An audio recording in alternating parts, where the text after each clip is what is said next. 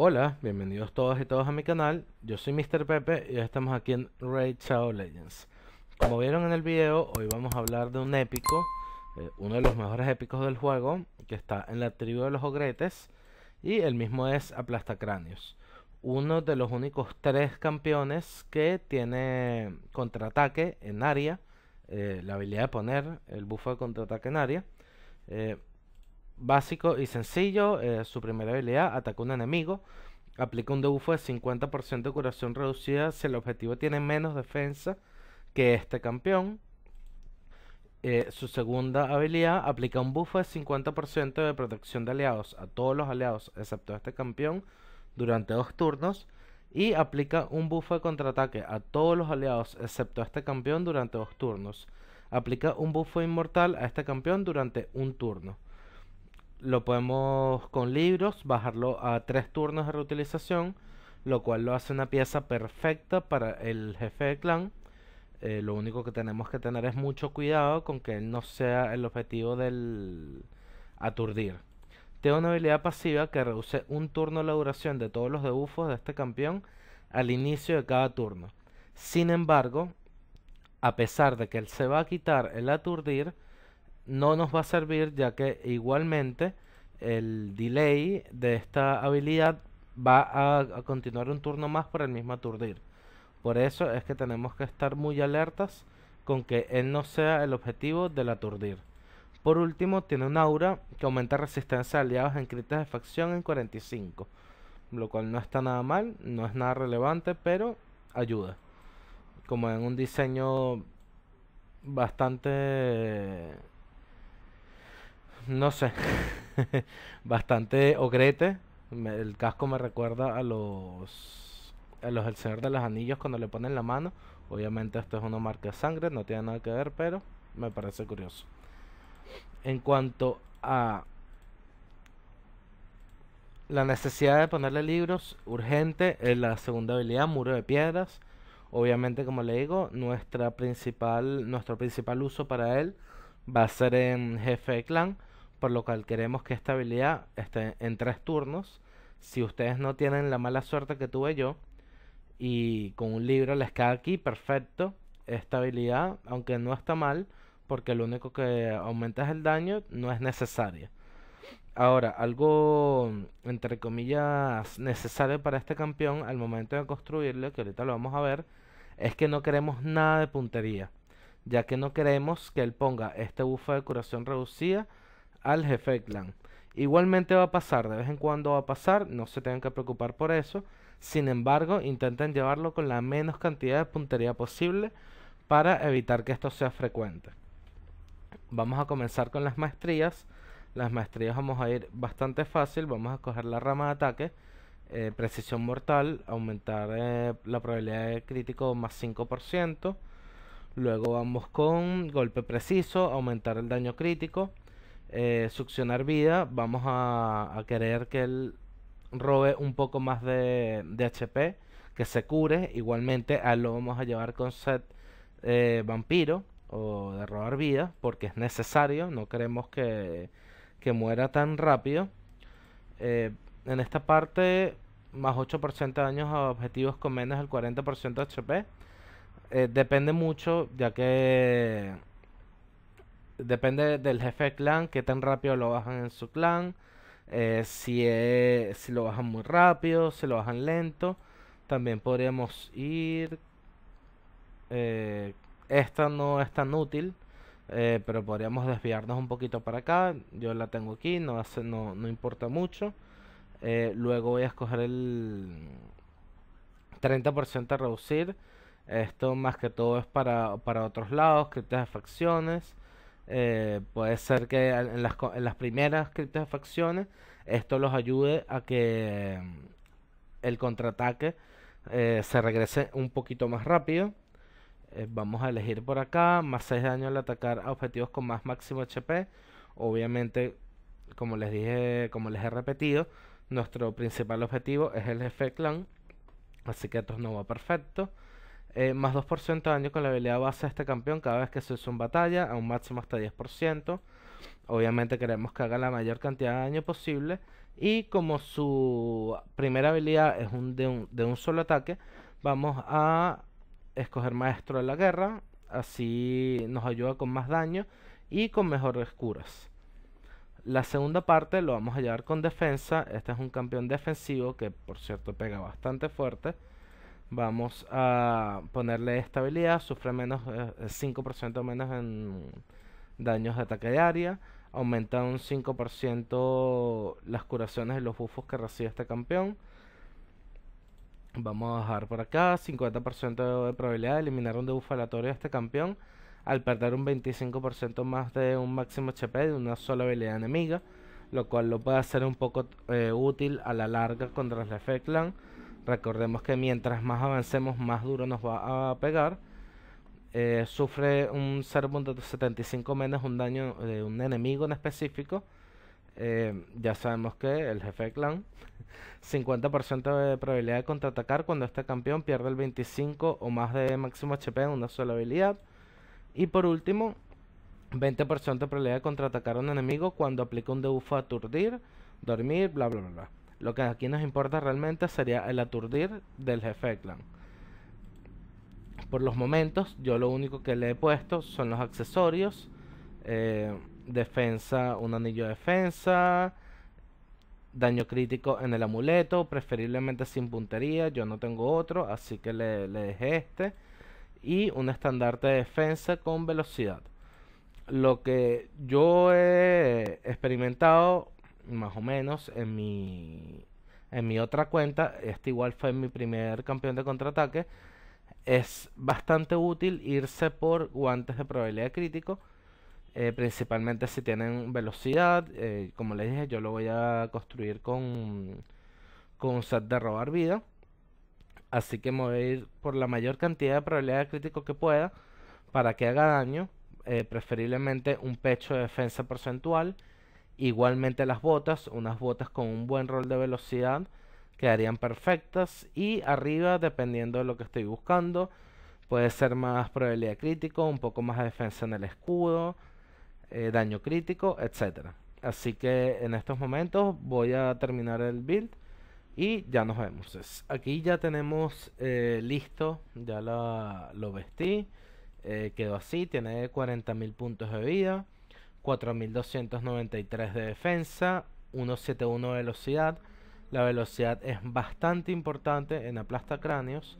Recordemos que él tiene que ser el más lento de todo el equipo. Y así él va a ser el último en, atacar y en poner su habilidad. Para que así todos tengan un contraataque. Eh, probabilidad crítica en 100%. Excelente. Daño crítico solo 111%. No puedo hacer más. No tengo más mejores piezas. Como para agregarle un poco más de daño crítico. Y puntería lo más bajo que pude. Eh, fue 89. Lamentablemente hay muchas piezas. En las que podría prescindir de la puntería. Pero no, no tengo mejores piezas. Por ejemplo aquí. Creo que por acá. Donde hay otra. Aquí hay otro 11 de de puntería, pero como les dije, lo básico, botas de defensa, eh, coraza de defensa, el resto son cuatro piezas del set de robar vida con probabilidad crítico. Aquí busqué probabilidad crítico y velocidad, probabilidad crítico eh, y realmente no, no tenía un mejor casco como para agregarle daño crítico o velocidad sin tener que contar con los glifos. Y por último, aquí quería eh, la defensa, intenté conseguir más velocidad, pero al final lo que salió fue el daño crítico.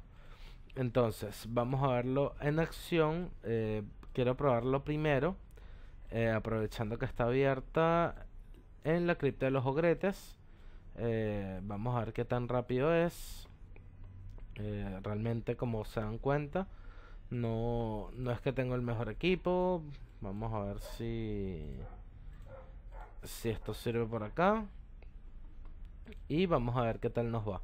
Como vieron normalmente son 40 segundos eh, lo que hago con con mi equipo entre comillas normal más que todo es por el el se me fue el nombre en, en español eh, ya que es el que ataca y pega más duro. Sin embargo, vamos, entre comillas, con buena velocidad.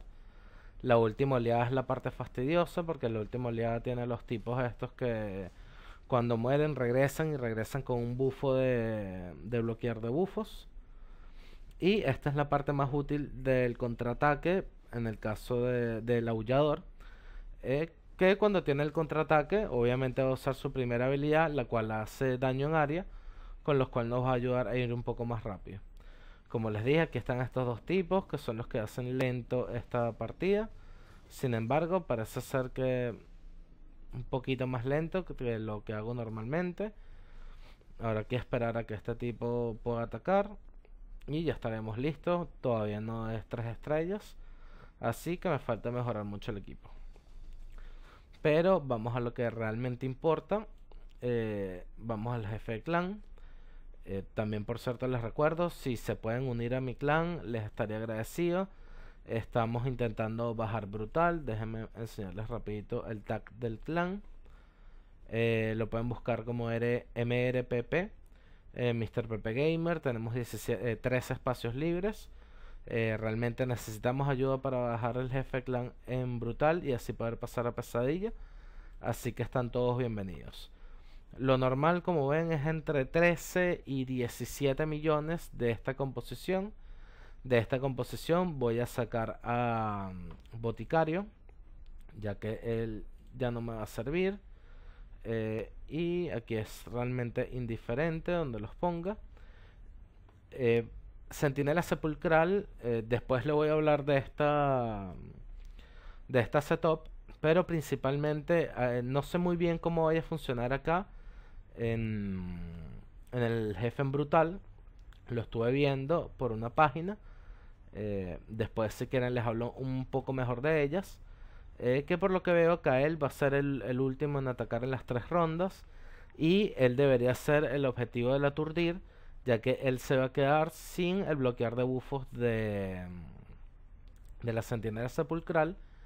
Pero en pesadilla esto debería estar correr perfecto y no deberíamos ser afectados ni por el debufo, por lo cual el debufo de cualquier afinidad, por lo cual va a ser posible usar este equipo con cualquier afinidad y nos vamos a ahorrar el aturdir. Eh, lo básico de esta setup es retrasar el, uso de la habilidad de la sentinela sepulcral. Vamos con las habilidades de todos. Vamos aquí. Y por último, Skull Crusher. Eh, aplasta cráneo. Ahí vamos a comenzar con los contraataques. Eh, por último, ya yo le doy aquí al atacar y le doy auto. Entre comillas, todo debería correr bien. Así que vamos a ver qué tal. Como ven, ahí si estuviéramos en, afinidad, nos habríamos ahorrado, dependiendo del jefe, el reducir velocidad, reducir eh, ataque, creo que es el otro, y el reducir puntería. Son creo que los tres debufos. Y por último, el aturdir también nos los ahorramos con el mismo debufo. Eh, Vamos a ver qué tal nos va. Como les dije, son, entre 13 y 17 millones lo máximo que he hecho. Así que les dejaré corriendo y nos vemos ahorita.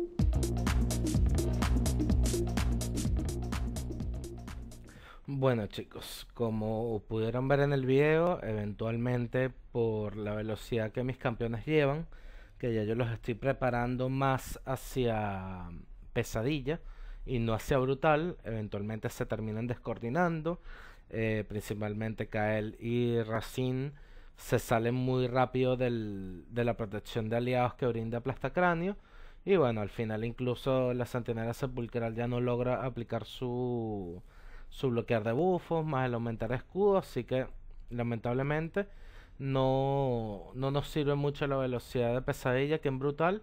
Sin embargo, aumentó por lo menos un 8 millones, o sea, un 50% el daño que hice, eh, lo cual no está nada mal. Aplastacranes ayudó con un 2 millones, Banshela haciendo la mayor cantidad de daño con el veneno en 8.9 millones. Kael y Racing le siguen con 6 millones y 5 millones respectivamente. Y por último la Sentinela Sepulcral con 2 millones, 2.8 millones básicamente. No está nada mal, Aplastacráneos como les mencioné, uno de los mejores campeones de este juego. Eh, uno de los tres eh, junto a Valkyria y junto a Mártir que tienen esta habilidad del contraataque en grupo. Eh, lamentablemente él no se la pone a él mismo pero ahí es donde entra la, parte de la protección de aliados y el, de bufo, y el bufo inmortal que se coloca. Así que un campeón excelente. Espero que si han tenido la suerte de, de, de se me fue la palabra, de invocarlo, eh, lo puedan usar como lo estoy haciendo yo. Eh, recuerden que 171 es la velocidad para pesadilla. 191 eh, se podría hacer la velocidad para super pesadilla. Igualmente hay una manera de usarlo en 171 eh, para, ese, para esa dificultad. Pero bueno, eso ya será tema para otro día. Eh, si el video les gustó, por favor denle like, suscríbanse, compártanlo y nos vemos en un próximo video. Chao.